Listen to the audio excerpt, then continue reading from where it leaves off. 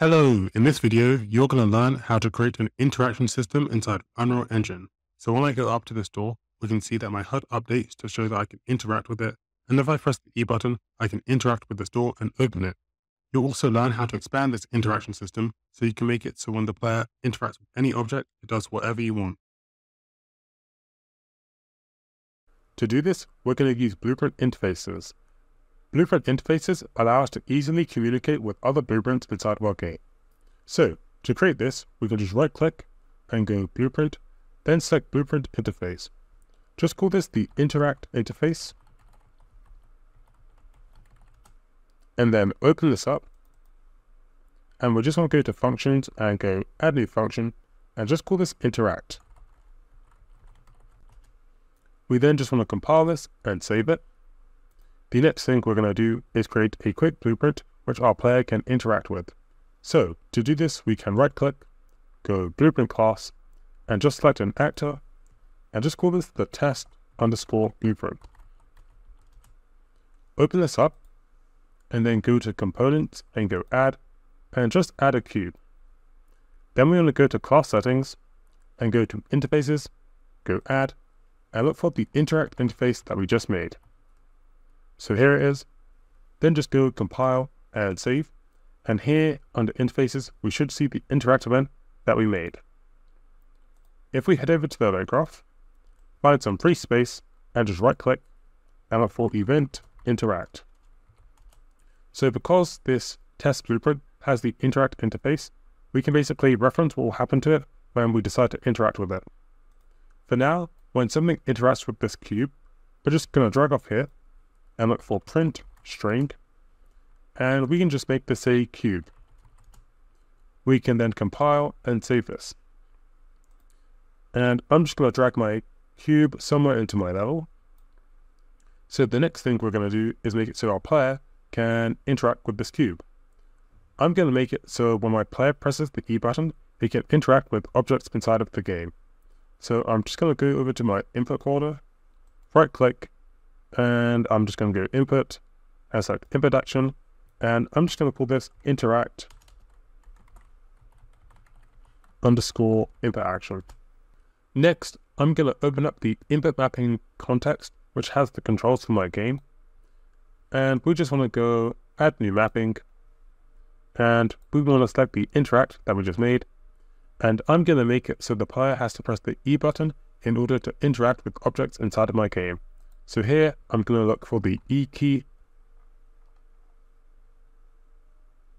And here it is. Then we can just save this.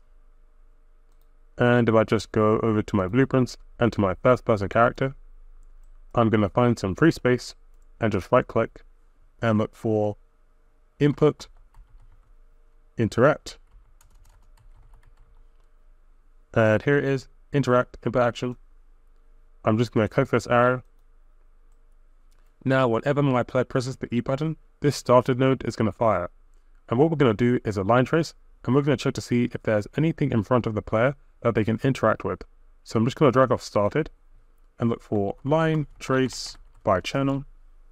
Where this is going to start, we can drag in the camera and just drag off here and look for get world location and connect this into start.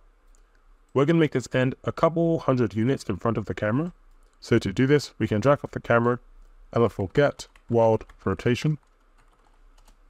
Then we just want to drag off here and look get forward vector. Then we just want to drag off here and look for multiply. And then just right click here and change this to be a float. Right click on this and promote it to a variable. And we can just call this interact distance compile this. And for now, let's just make this 150. And then we just want to drag off this get world location and look for add. And select this one. And whoops, I'm just going to move everything so it's a bit tidier.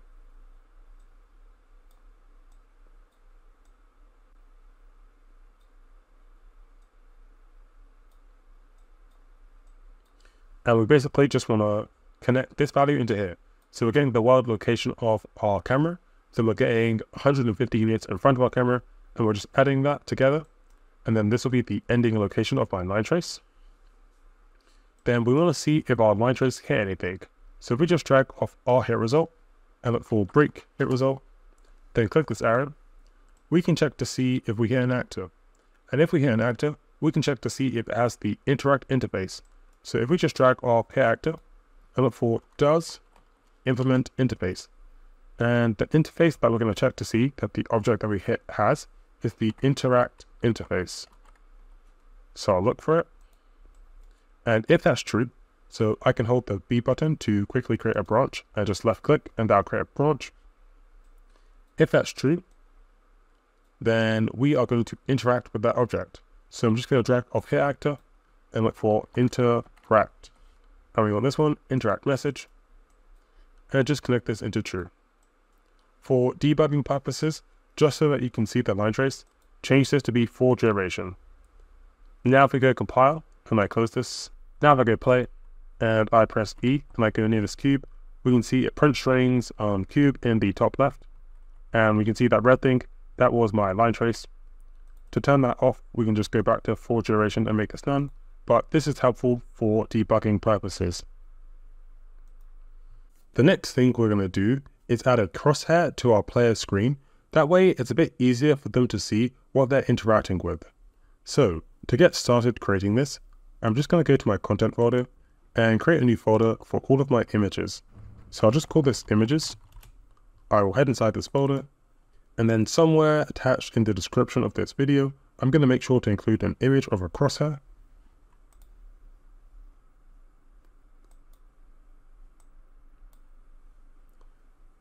So it'll be this. You can just drag and import it into your images folder. When you import this image, just make sure to right click and go to sprite actions and apply paper 2D texture settings. This will just make the image a bit clearer. The next thing we're going to do is create a user interface which will have this crosshair. So I'm going to go back to my content folder, right click and create another new folder. This time I'll call it user interfaces. And I will head inside here and I'm just going to right click and go user interface and select a widget blueprint. I will select user widget and I'm just going to call this my player underscore widget blueprint. We can head inside here. Then I'm just going to go over to the palette and look for a canvas panel and just drag and import it into the hierarchy here. Then we just want to look for an image and drag this somewhere into the screen. For this image, go over to anchor and select the middle one. This will just make it so this image is anchored to the middle of the screen, no matter the resolution of the screen that we're playing on. For the uh, position X, make it 0, and for the position Y, also make it 0. Then for the brush, we just want to change this to be the crosshair image that we just imported. So here is crosshair. Now, it's a bit small. We can either manually change the resolution by playing around with it here, or we can just go here to size X and size Y and determine a value. I already played around with this and I found 200 by 200 looks pretty good. Then for the position X, we just want to make this minus 100. And for the position Y, we also want to make this minus 100. And this will just make it so the crosshair is directly in the middle of the screen. We can then just compile and save this. And the next thing we want to do is just go to our blueprints folder, enter the FPS character, and even we can play, we're just going to make this um, player widget blueprint appear on our screen. So I'm just going to drag up there and look for create widget. And that widget is going to be the player widget blueprint that we just made. I'm going to right click here and promote this to variable in case I need to reference this in the future. So I'm just going to call this my um, player HUD. And then finally, we can just drag up here look for add to viewport. And now if I just go compile, when I play my game, I should see this crosshair. And this just makes it a bit easier to see what I'm interacting with because for the line trace system that we made earlier, it comes from directly off the middle of our camera. And this HUD will basically place the widget in the center of our camera. So you may have noticed the image is still kind of blurry. To fix this, we can just go over to our crosshair then go to search and look for filter and just change this to be trilinear and then just save this. This will make it so the image is a bit more clear. The next thing we're going to do is make it so the player can open a door using the interaction system that we've just made. To get started, if we just go add and select add feature or content pack, then just go content and add the starter content to our project. The starter content comes with loads of assets. One of them is a door. Next, we can just go to the blueprint folder, right click and go blueprint class, select an actor, and just call this the door underscore blueprint.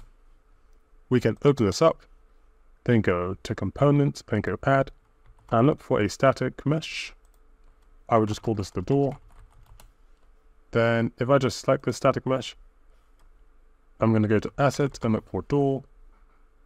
And I'm just going to select this one, static mesh door.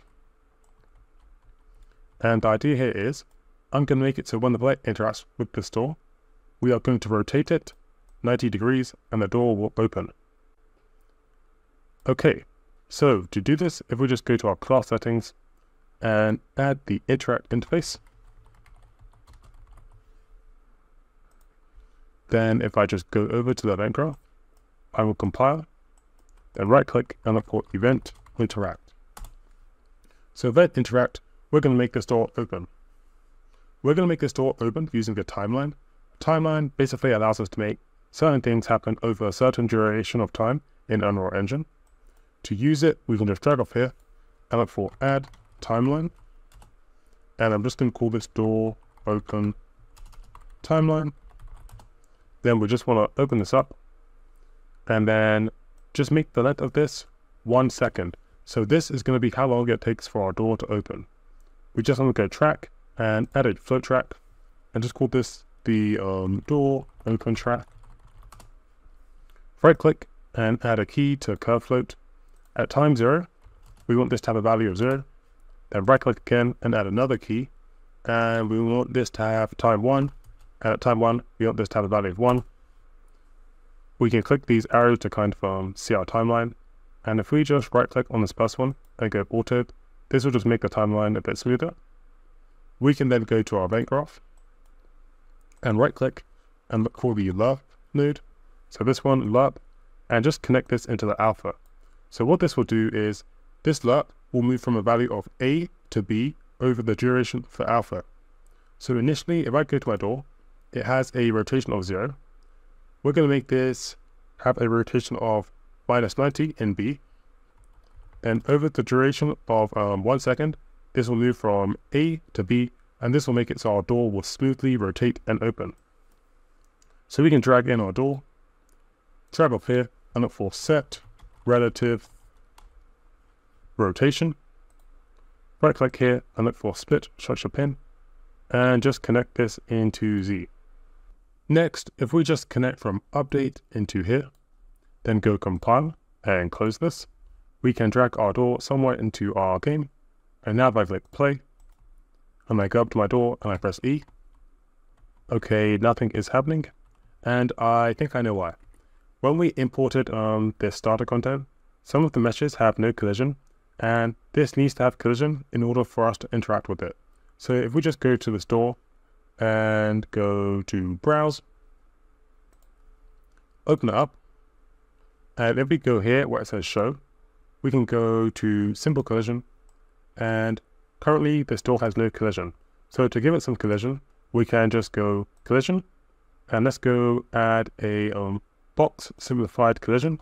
And as you can see, it adds this collision. The area in green is the collision. We can now just save this. So now if I go to the store and I press E, we can see it opens. Nice.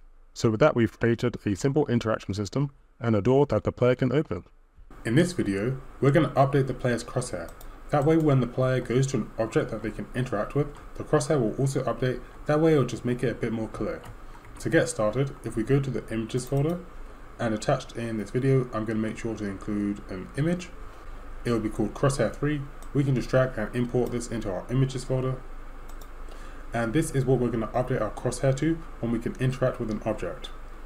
If we just select this image, right click and go sprite actions and apply paper 2D texture settings, then we just want to go over to our user interfaces tab, open up the player widget blueprint, and just select this image and give it an appropriate name. So just call it crosshair, then check this is variable. Then just go compile and save this. Next, we just want to head over to our blueprints folder and open up the first person character and find some free space and just right click and look for event tick. So this will update every frame and we're going to check to see if there's an object that the player can interact with. And if there is, then we'll update the crosshair to be the um, crosshair 3. We can actually just um, copy all of this code as it's going to be very similar apart from this last bit. So just go Control C and Control V and paste this here. So then tick, we're going to do a line trace and if our line trace hits something which has the interact interface, we are going to update the player HUD's crosshair. So if we just drag in the player HUD, get it, then because we made the crosshair variable, we can reference it. So if I just drag off here and look for get crosshair, then I can just drag off here and look for set brush, and we want this one, set brush from texture, and we want to change the texture to be crosshair 3, the crosshair that we just imported, if this is true. If this is false, then that means we are not hovering over an object that we can interact with, so we're going to change the crosshair back to be the normal one. So I'm just going to copy this and paste this, and if this is false, I will change this to be crosshair 1. Okay, let's just compile and test this out. So we'll go play, go up to the store, we can see it changes to be crosshair 3, which means I can interact with it, and now if I press E, I can open the store. Nice. Let's just go back to our FPS character. And I'm just going to move the event tick back a bit and then I'm going to select all of these nodes and then I'm just going to right click and go collapse the function. And I'm just going to call this update crosshair and then if I just double click inside here it will have um, all of the nodes that we just made and then whilst we're here I'm also just going to comment this and call this handle interaction and we can just compile and save that. So that's all for this video and this video is part of my course series how to make a complete survival horror game in Unreal Engine 5. If you're interested in learning more about it, make sure to check out my courses. You can find them somewhere in the description of this video. That's all for this video. If you enjoyed, make sure to like and subscribe and I'll see you guys in the next one. Bye.